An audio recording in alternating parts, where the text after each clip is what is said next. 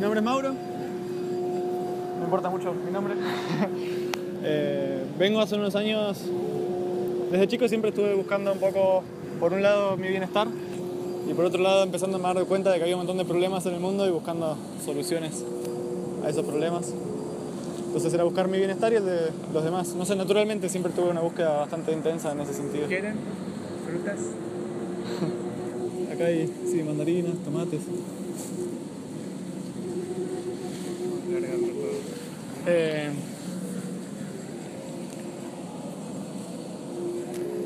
y bueno, siempre fui buscando por mi cuenta y empezando también a investigar y conocer gente afín que estaba buscando los mismos, sobre todo después de egresar del colegio, tengo 24 años ahora. Eh, y me fui encontrando con varias cuestiones que me parecieron muy importantes, en parte para mí, en parte para, a veces cosas importantes para mí y cosas tan importantes para los demás, que para mí son dos cosas que van juntas. Mientras menos daño hacemos al mundo, más fácil es sentirse bien porque uno sabe que tiene la conciencia más tranquila al respecto. Y por otro lado, eh, mientras uno mejor está, más puede aportar al mundo también.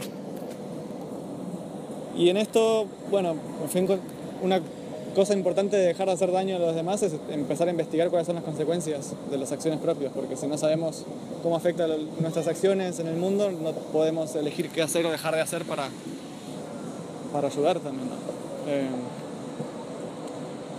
y nada, en secundario ya venía observando todos los, problemas con la publicidad y, toda la influencia que eso tenía en mis compañeras, en mis amigas, como varias estaban volviendo anoréxicas o estaban volviéndose muy preocupadas con su imagen y estaban yendo obsesivamente al gimnasio. Eh, y me puse, nada, me di cuenta de ese problema. Nada, fui investigando más y más problemas. Y. Buenas. Hola. ¿Qué tal? ¿Puedes sentarte acá? ¿Todo bien, Juan? ¿Todo bien? Muy bien. Y. Ya sabes sobre las charlas, eh, ya conoces un poquito. Eh, no, en realidad no. Bueno, básicamente eso- voy a hablar sobre la importancia de la ecología y de la espiritualidad para el veganismo. Pero también como hay varios acá que todavía no son veganos, también voy a hablar sobre la importancia del veganismo en sí, para el mundo y para uno mismo. Eh, entonces, me fui dando cuenta de que eran todas cosas complementarias las que, las que apuntaban a nuestro bienestar o los demás. Y en eso yo venía buscando mi bienestar mediante cosas más por mi cuenta, digamos, mediante mis ideas y mis experiencias, mi conocimiento. Y empecé a darme, a- a darme la contra la pared muchas veces. En- me había dado cuenta de que claramente el consumismo no me llevaba a ser feliz. Eh, todo lo que es el mat- el materialismo, en sentido más estricto. Pero sí empecé a creer que las experiencias nuevas me iban a llevar a ser feliz y estar en paz. Eh, y estaba viviendo experiencias nuevas a lo loco y me provocaba mucha felicidad. Pero de a poco también eso empezó a dejar de suceder, también empecé a encontrarme no en paz y no feliz y cada vez menos feliz a pesar de que estaba viviendo un montón de experiencias nuevas y intensas y como viajes o como estar con distintas, no sé, muchas cosas. Me di cuenta de que tampoco era por ahí y empecé a abrir ahí un poco más a lo que era la espiritualidad. Eh, y la espiritualidad claramente acá es, es muy amplia, abarca un montón de, de- de cosas, de prácticas, etcétera. Y también vengo encontrando que muchas cosas sirven para estar bien y otras sirven para sentirse bien en el momento quizás, pero no para mantenerse bien después en el tiempo. Que eso pasa mucho en la espiritualidad lamentablemente. Pero bueno, son todos procesos que estamos atravesando individualmente como sociedad. Eh, entonces, en el 2012 conecté, me, me llegó la información de unos cursos de meditación. Eh, son 10 días de uno va a practicar, a practicar mucha meditación y aprender una técnica de meditación que se llama Vipassana. Y estar en silencio esos 10 días y practicando intensamente y con una hora de teoría al día versus días de práctica, con, sin, con desconexión, o sea, sin distracciones, sin música, sin escritura, sin nada. Uno con uno mismo, básicamente. Y eso realmente me cambió, me hizo dar cuenta de que realmente la felicidad está dentro de uno, esa famosa frase que a veces quizás no entendemos, o la entendemos intelectualmente, pero no en- adentro. Y empecé a entender que en realidad la felicidad es un estado subyacente en la mente, que lo que nos saca de la felicidad y la paz son cosas externas, son son las impurezas que tenemos en la mente. Pero una vez que sacamos eso, la felicidad está ahí. No es que tenemos que hacer cosas para ser felices, sino que somos infelices porque hacemos cosas que nos hacen infelices, pero si no, si no hacemos nada de eso, si nuestra mente está pura, nos sentimos naturalmente felices y estamos en paz. Eh, eso por el lado interno. Eh, por otro lado, también, bueno, la ecología venía interesándome ya desde chico. Gracias a Greenpeace, en un momento con sus publicidades me empecé a interesar en eso. Dije, oh, mira, están pasando problemas ecológicos, me interesa que los animales estén bien y que, ambiente esté bien para que todos estemos bien, lógicamente. Pero fue como una puerta de entrada hacia, hacia la ecología. Después me di cuenta de todos los problemas de Greenpeace también. Lo mismo me pasó antes de hacer estos cursos de Vipassana con el arte de vivir, que yo hice unos cursos del arte de vivir y me sirvieron como una puerta de entrada para entender algunas cosas de espiritualidad, para empezar a experimentar estados de felicidad más fuertes y, y conectar con los demás desde el corazón.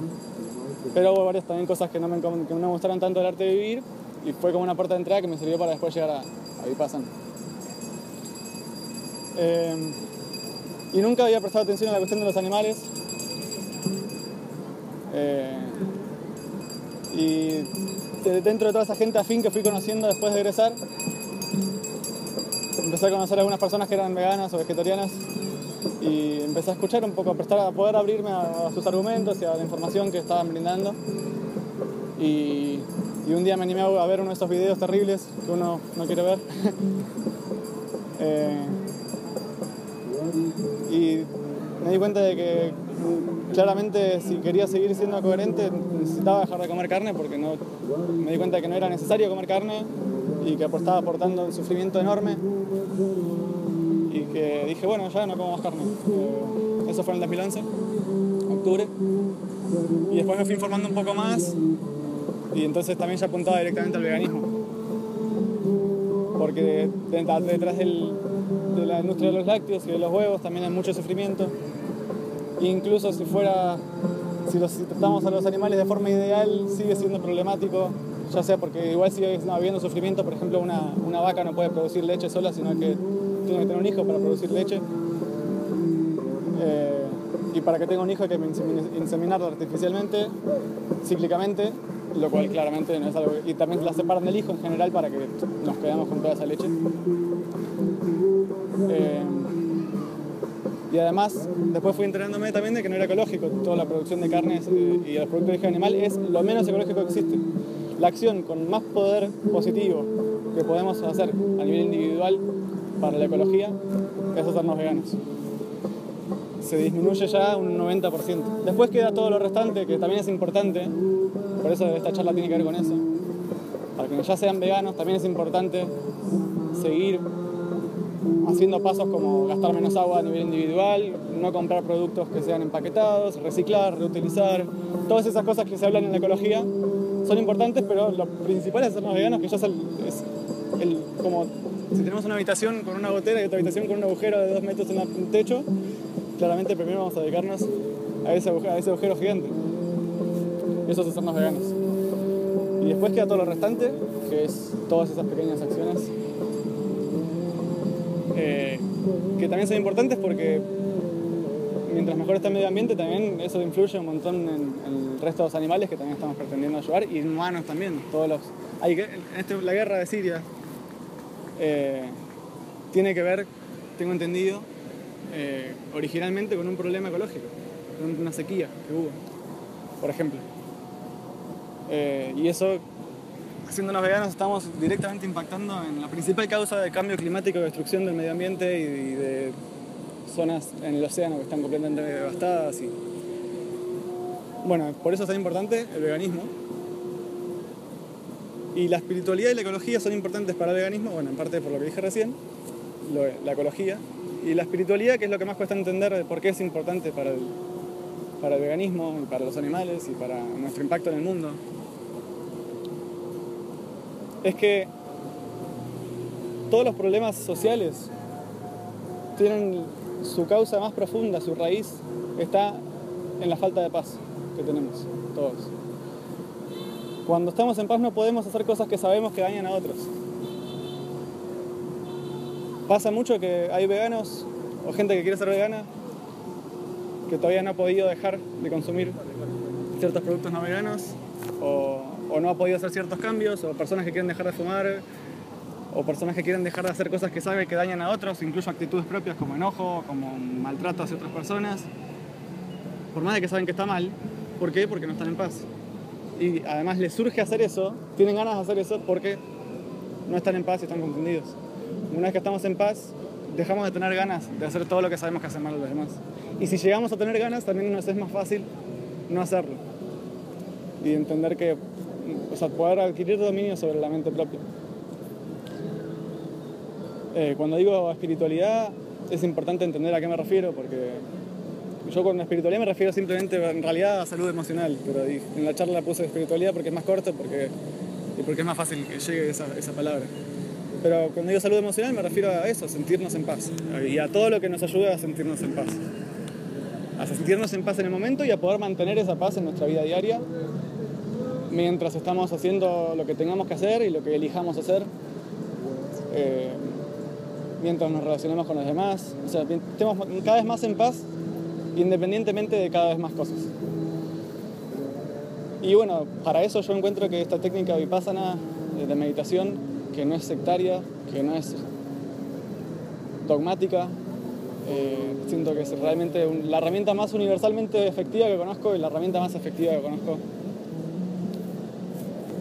Eh, y que me puedo imaginar incluso. Que, que es una técnica que se basa en observar la realidad tal cual es a cada momento y aceptarla tal cual es a cada momento eh, dentro del marco del cuerpo. La respiración, las sensaciones del cuerpo. Y es muy difícil aprender esa técnica fuera de los cursos, porque en esos cursos uno puede profundizar mucho más porque no tiene ninguna responsabilidad más que practicar meditación, descansar y comer. y, lleva tiempo profundizar a poder entender la, la, práctica en la experiencia propia. Uno la puede entender a nivel teórico más o menos, pero en la práctica cuesta más. Yo recién después en cuarto, quinto, sexto, séptimo, octavo curso, es como que seguía entendiendo un montón de cosas y digo, ah, ahora entiendo lo que es Vipassana. Y sigue pasando cada vez que uno sigue practicando Vipassana más a fondo y es realmente un camino muy profundo y largo y hermoso y conozco gente que practica Vipassana hace muchos años, muchos más años y se nota que es gente muy transformada y que puede eh, hacer muchas más cosas en su vida manteniendo un estado de, de paz y de amor y de forma mucho más estable y profunda. Eh, ¿Alguna pregunta por ahora? Si quieren, podemos. Si uno tiene alguna pregunta por ahora, después voy a seguir charlando, pero. Vipassana dura 10 días la meditación. El, no es la, el curso de meditación de, de Vipassana primero que uno hace, dura 10 días. Hay cursos en todo el mundo, hay centros en un montón de países y se hacen cursos en, fuera de centros también, lugares que se alquilan. Y no tienen un costo los cursos. Cuando uno termina de hacer el curso, eh, deja una donación opcionalmente. Eh, y así es como se sustentan en todo el mundo. Y solo, solamente aceptan donaciones de gente que hizo un curso completo mínimo. Y no aceptan donaciones ni de gente que no hizo el curso, ni de organizaciones, para asegurar una pureza, para, asegurar que, para asegurarse de que no haya intereses, para no fomentar el donar para desarrollar el ego, sino donar realmente por saber qué es y querer ayudar a otros. Es muy puro, muy hermoso y se nota también en comparación a muchas otras organizaciones eh, espirituales, no, no, por condenarlas o criticarlas, pero simplemente de cómo se manifiesta, la, cómo funciona la técnica de bien, se manifiesta en, cómo es la organización y cómo son los cursos.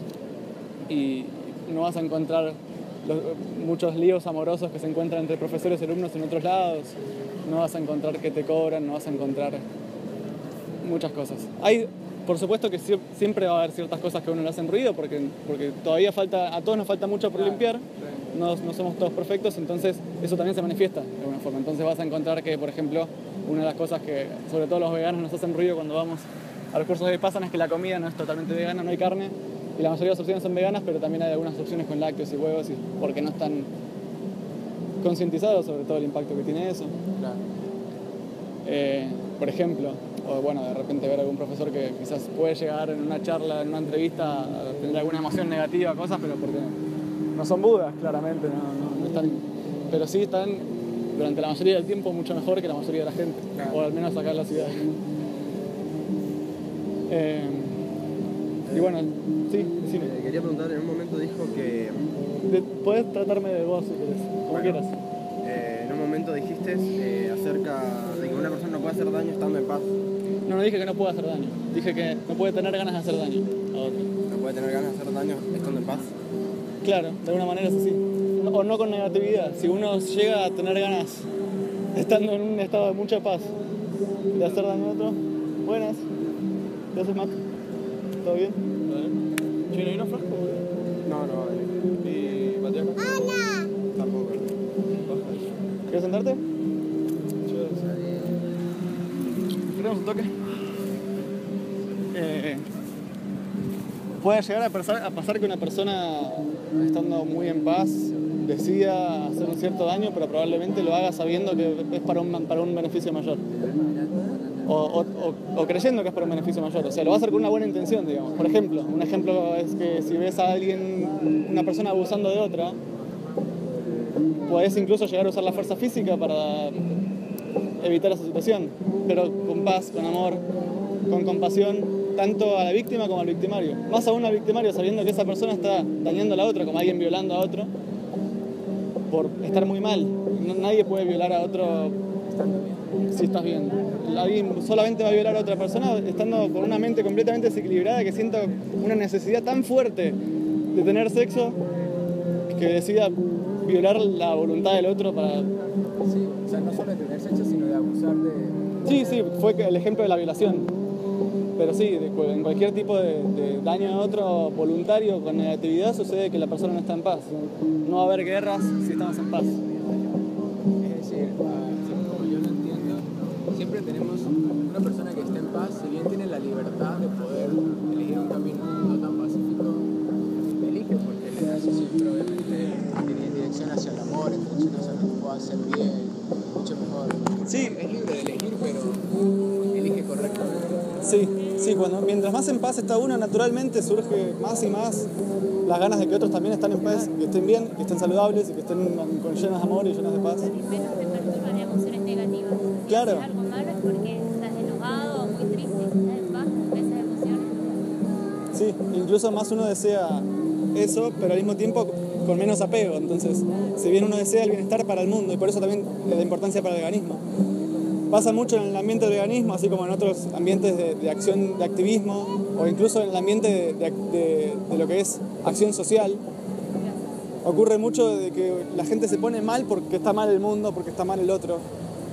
Lo cual es natural y es sano, en un principio, pero, pero en un punto si uno está todo el tiempo actuando desde ese malestar para ayudar al mundo, no está ayudando al fin y al cabo.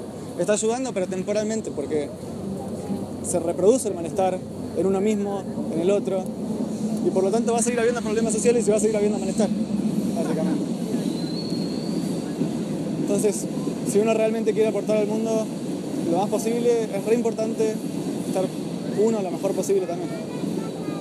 Y por eso es que ayer de repente tuve una experiencia muy profunda y me cambiaron los planes de mi futuro cercano y bueno, decidí que pronto me voy a retirar de forma personal por mi cuenta y por tiempo indefinido para meditar más en profundidad y, y volver con, con más capacidad de, de- de ayudar, con una, con una mente más estable y también comprendiendo mejor cómo funciona mi propia mente, cómo funciona la mente humana, cómo funciona la realidad misma. Realmente ocurre con la meditación uno llega a entender muchas cosas, no solo de uno mismo, sino también de la mente humana en general y de la humanidad en general y de la realidad en general, de la mente en general de todos los seres. Y por lo tanto sabe mejor cómo ayudarse a uno mismo y cómo ayudar a los demás. Y entonces realmente uno experimenta esos frutos después, ¿no? Como cada vez uno está mejor en su vida y cada vez, o tanto externamente, pero sobre todo internamente, que es lo más importante. Porque es como aprender las reglas del juego, aprendes cómo funciona el juego, obviamente puedes jugar mejor. Si aprendes como, como cualquier cosa, adquirís dominio sobre... Si sabes cómo funciona algo, sobre una herramienta la puedes hacer mejor. Y lo mismo funciona con nuestra mente.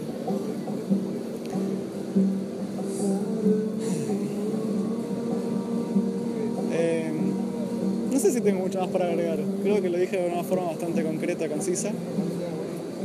Pero bueno, sobre todo me gustaría saber, ya que ese es el propósito de la charla, si alguno tiene más preguntas sobre veganismo, sobre por qué es importante, por qué es necesario, si es realmente posible, si realmente es conveniente vivir sin, sin consumir productos de origen animal, si le parece que otros asuntos son más urgentes e importantes en este momento, o por qué es importante la ecología o la espiritualidad para el veganismo, o para la acción social en general. Yo creo que eh, la gente no, no toma este camino del veganismo, me incluyo igual, es, es la falta de conocimiento y la parte nutricional que vos crees que solo vas a comerte proteínas si no te comes un pedazo de carne y es un mito más grande creo que hay. Entonces, mucha gente te dice, ah, no, yo estoy, digamos, yo estoy queriendo dejar todo el consumo de carne y todo esto. Me dice, no, pero y las proteínas no te vas a alimentar bien, te vas a comenzar mucha, mucha, mucho, muchos problemas. ¿va? Eso es la falta de conocimiento y ignorancia de la gente que, que, no, que, no, que no tiene y no puede seguir eso justamente porque no, no sabe. Y es el mito que tienen todos, el miedo que tienen todos de que no me voy a enfermar, no como proteínas porque las proteínas solo están en la carne. De hecho, no. Sí, sí, yo creo que uno de los problemas más importantes que hay, y el principal, me parece la falta de información. La, información está, lo que falta es que la, que, que la gente reciba esa información. Por suerte hay mucha gente abierta a recibir, a recibir esa información que todavía no la ha recibido o la está recibiendo. Pero, y ahí está el otro problema más importante, hay mucha otra gente que puede tener la información y sin embargo todavía no poder hacer el cambio o ni siquiera querer abrirse a recibir la información. Y eso es como, son las dos caras, los dos problemas más grandes del veganismo es eso. Uno es la falta de, de, de información, por eso el educar es tan importante. Y por otro lado, y eso es lo más difícil de, de, de decidir qué hacer con ello, es justamente la falta de paz. O sea, hay tanta, tanto, como hay tanta gente como mi viejo, por ejemplo, un ejemplo dentro del, el ejemplo más cercano que tengo, pero también he conocido muchas personas más, tienen un apego tan grande a esas comidas, a esas a, comprar y, y, también yendo más allá del veganismo, por ejemplo, comprar ropa porque te hace sentir bien, porque te hace sentir lindo, lo que fuera, pero no tener ni, ni idea de todo lo que hay detrás de, esa, de toda la, toda la esclavitud humana que hay, todos los productos de origen animal que hay, los problemas que hay con eso, la contaminación. Incluso a mi viejo ya se lo he contado y sin embargo lo sigue haciendo, ya sea tanto la parte de la ropa como la parte del veganismo, mi hermano lo mismo. Y así hay muchísima gente y eso es por falta de paz. Cuando uno está en paz no, no puede empezar a deshacerse de esas cosas a las que estaba apegado, porque el apego surge de la falta de paz. Es solamente, estoy tan mal que solamente encuentro bienestar en estas pocas cosas. Y viene alguien, en este caso un familiar para mi papá y mi hermano, a decirme que deje de hacer esas pocas cosas que me hacen sentir bien, las únicas cosas que me hacen sentir bien. ¿Cómo voy a dejar eso? ¿Cómo voy a dejar de comer carne? ¿Cómo voy a dejar de comprar ropa? ¿Cómo voy a dejar de consumir lácteos? No puedo. Y a esas personas les hace falta estar, aprender a empezar a estar más en paz sin necesitar esas cosas. Ya sea con otras cosas o idealmente sin necesitar nada, que eso es lo que nos lleva a la meditación. a la gente que realmente completamente Igual me pasa a mí con mi viejo, igual me pasa con mi hermano, que me dice, o sea, no, o sea, le dan información y igual te dicen no. O sea, ¿cómo creas esa conciencia de decir, oye, ándate por ese camino, te va, te va a sentir bien? Muchas veces te dicen siempre, cierran las puertas te dicen, no, no, no estoy bien con eso, pero veces se quedan ahí y se quedan y no hay nada que hacer.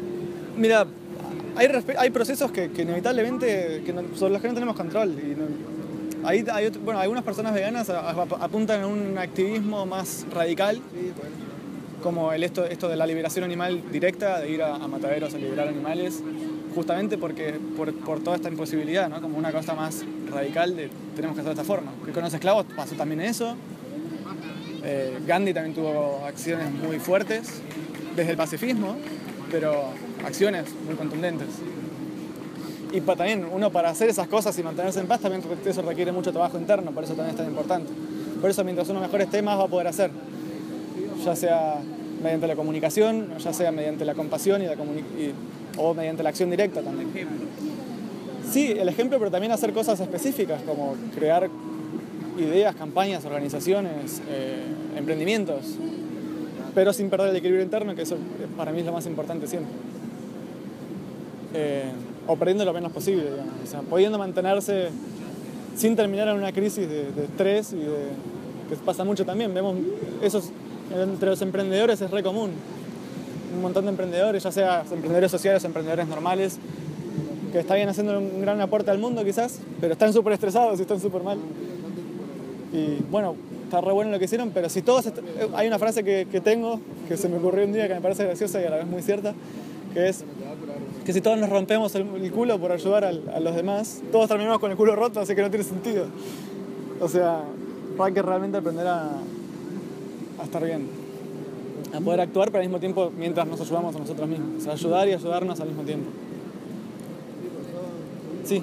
te quería aportar en el caso de, de cuando tú cuentas de tus papás y eso a mí también me sucede por el hecho de con mis amigos les trato de hablar como respecto al veganismo porque una vez que yo entendí de dónde proviene todo es como obviamente no lo voy a seguir haciendo ¿entiendes? ya dejo de ver un pedazo de carne como un pedazo de carne sino más bien como un, un miembro de un cuerpo de un ser que estaba vivo antes pero si me pongo a pensar también a mí me tomó un proceso de qué sé yo mi edad 25 años llegar hasta este punto donde dije ya no más. Y supongo que a ellos también, ¿no? Son procesos personales de cada quien. Sea, si tú les puedes mostrar, mira, esto proviene de acá y está, me parece que está bueno o está mal. O sea, tú creo que tienes la capacidad de discernimiento en decidir, porque eres libre de decidir. Si una persona simplemente decide cerrarse, taparse los ojos y vendarse, porque es lo que hace realmente. Nada más que si yo le sigo promoviendo con más, lo que va a generar es mucho más resistencia, más fuerte se tapan los oídos, más fuerte se tapan los ojos. Simplemente sugerencia y en algún momento de su vida, de sus procesos, llegan al camino porque parece que inevitablemente todos van a reconocer que el dolor no es el camino, que cuando sufre otra, otro ser vivo, no solamente un ser humano, sufren ellos también, porque somos, ¿entiendes?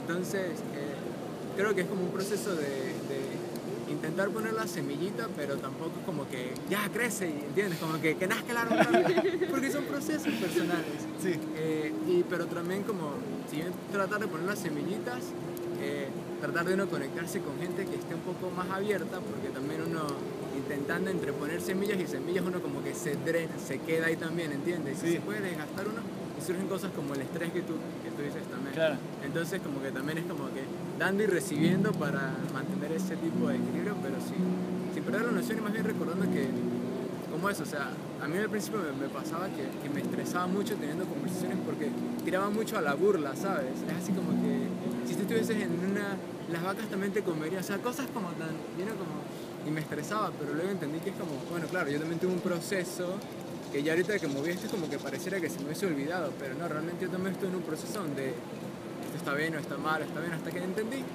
También ellos van a tener el suyo en algún momento, si bien no sea a través de mí, a través de otra persona y lo importante es que lleguen ahí, no, no que sea por mí, porque sería ego eso. Sí, bueno, por eso también es tan importante para mí el- el- la espiritualidad en el- para el veganismo, porque justamente mientras uno más entiende, mientras uno mejor está y más entiende la mente y cómo funcionamos, también más efectivamente va a poder comunicar, más va a poder llegarle al otro. Claro. Mientras más conectado uno está con, el- con su, con su corazón, entre comillas, con, con su parte emocional, con su parte sana, más va a poder llegarle también al otro a esa parte abierta, esa parte que siente, esa parte que empatiza con los animales y, que quiere lo mejor para sí misma y para los demás. Claro. Por ejemplo, una vez en una meditación estaba preguntando que por qué cuando comunicaba parecía que ellos entendían y yo me estresaba, era como, en lugar de, de llevarse algo que fuese mejor, era como se originaba un poco más de conflicto.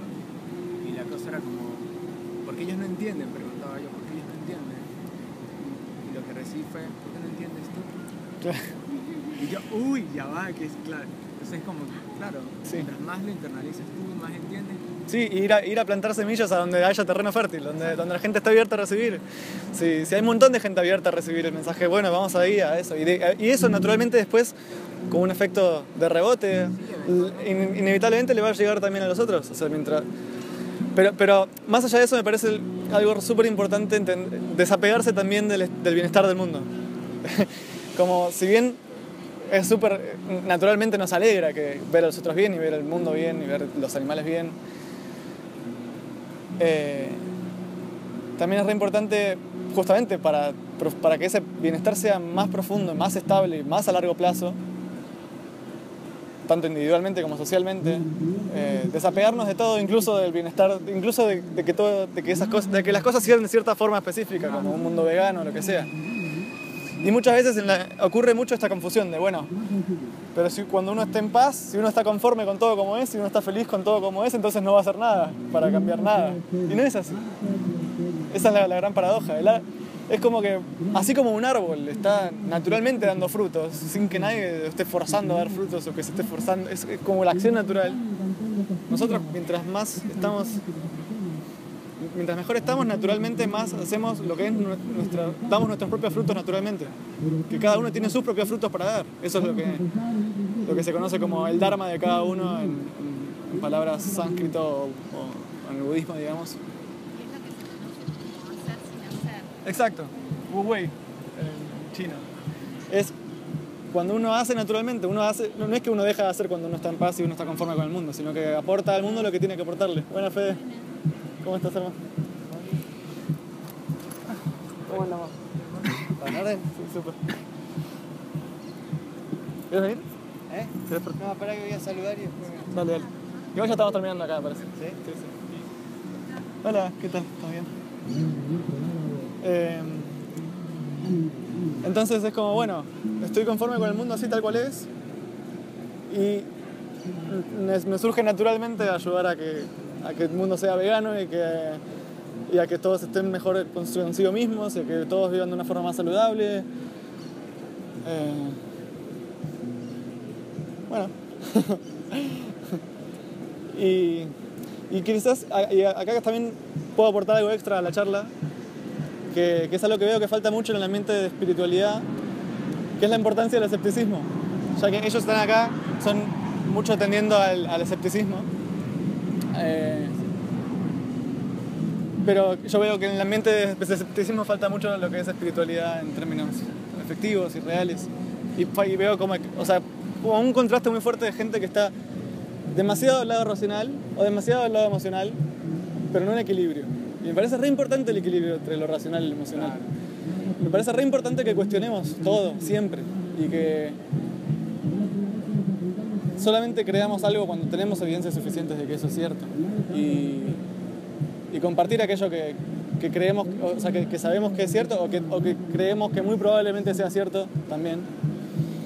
Que realmente cosas que sabemos que, que son efectivas o que, tenemos, o que creemos que son efectivas, capaz que después nos damos cuenta que estamos equivocados. Y bueno, los errores son inevitables, incluso en la misma ciencia oficial hay errores. Pero lo importante es siempre, o sea, bueno, lo más importante es que sea con buena intención, pero obviamente informándose lo mejor posible, porque uno puede estar queriendo ayudar, eh, pero si no está bien informado no, no va a poder ayudar mucho, ya sea en el ámbito de la nutrición, en el ámbito del veganismo, en cualquier cosa. Por favor. Eh, bueno, no sé si tengo algo más que agregar. Pero bueno, si alguno tiene otra vez alguna pregunta, eh, o, simplemente quiere compartir algo, o, podemos abrir un debate también si quieren. lo que hablaban sobre la gente que se cerraba, yo siempre intento también darle la información, quizás gente grande, quizás ellos se cierran, pero quizás al estar informados puede que sus hijos también el día de mañana acepten ¿no? que sea vegano, pues muchas veces uno, nosotros de chicos, ¿ok? teníamos que luchar contra nuestros padres para hacernos veganos y no, porque te va a faltar esto, te va a faltar lo otro. Incluso gente que, no va a cambiar, y sabemos que no va a cambiar, como bueno, al menos también darle la información para, para que sepan, bueno, eh, va a poder ser sano, va a poder hacer lo que sea. O bueno, yo tengo una tendencia frugívoro que, para mis padres fue como, qué locura, cómo va a ser frugívoro, ¿no? Eh, eh, pero bueno, siempre ir poquito por cada rama, que todo, todo suma, ¿no? Sí, sí, para mí es importante eso, informar y que el otro después decida qué hacer, ¿no? Yo informo, yo cuento y después cada uno que decida qué hacer. Mi rol, al menos yo siento muy naturalmente mi rol como comunicador. Cada uno tendrá otros roles también. Eh, y por el otro lado, sí, el, estar uno mismo cada vez mejor y ayudar también a que los otros estén cada vez mejor.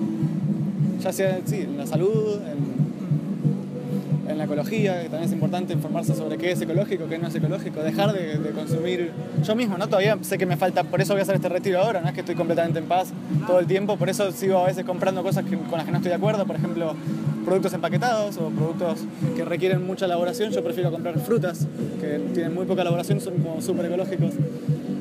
Incluso tengo pensado irme a vivir al trópico, donde, donde voy a tener la- producidas localmente o incluso idealmente cosechadas por mí mismo, que me parece lo más ético, lo más copado y lo más saludable, todo orgánico. Es que es un proceso. Sí, Es un proceso y uno también tiene que tener compasión con uno mismo. exacto, y respetar el proceso propio, sí, sí. Claro. O sea, Y también cada uno llega hasta donde puede, ¿no? claro. No puedo exigirle a otro que come solo frutas como yo. eh, eh, bueno, si llegaste a vegetariano, está bien, buenísimo. Llegaste a vegano, mejor. Y llegaste a lo que llegaste, bueno. Sí. Genial. Hiciste lo que tenías que hacer.